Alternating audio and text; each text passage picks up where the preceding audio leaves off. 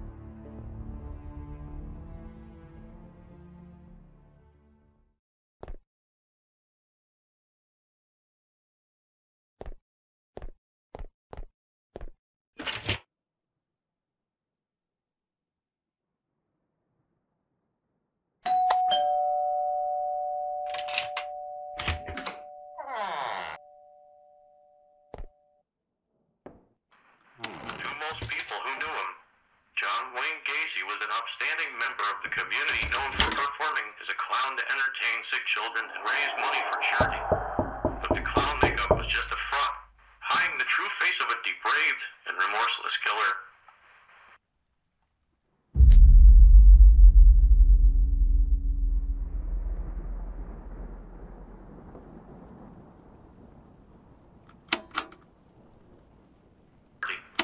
But the clown makeup was just a front, hiding the true face of a depraved and remorseless killer.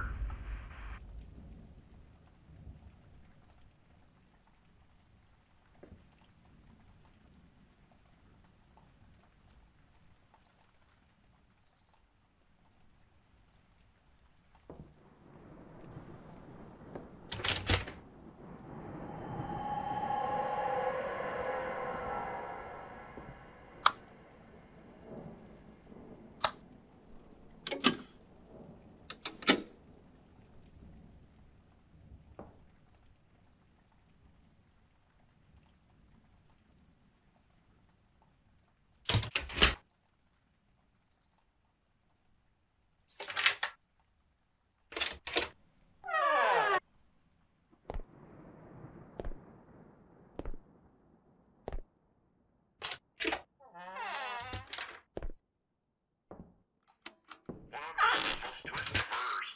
Gacy was a rapist and torturer convicted of killing 33 teenage boys and young men between January 1972 and late 1978.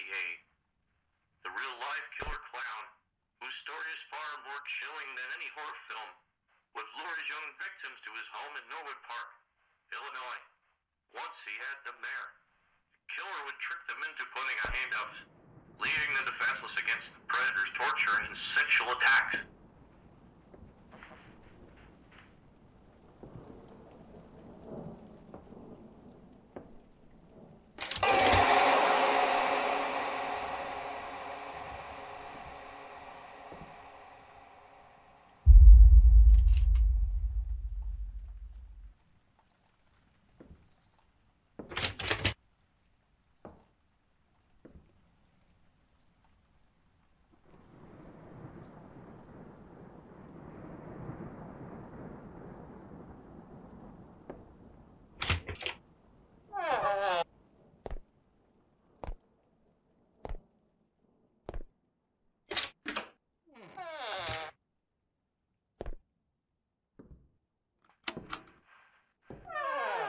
Dubbed the Killer Clown, Gacy's six-year reign of terror was marked by unimaginable cruelty and relentless abuse. All his victims were strangled or choked, or his first, who he stabbed, before their bodies were bundled into his home's crawl space, buried on his property, or dumped in the local Des Plaines River. But the whole time, Gacy was living a double life, presenting himself as an upstanding member of the local community and doing charity work in character as Pogo the Clown.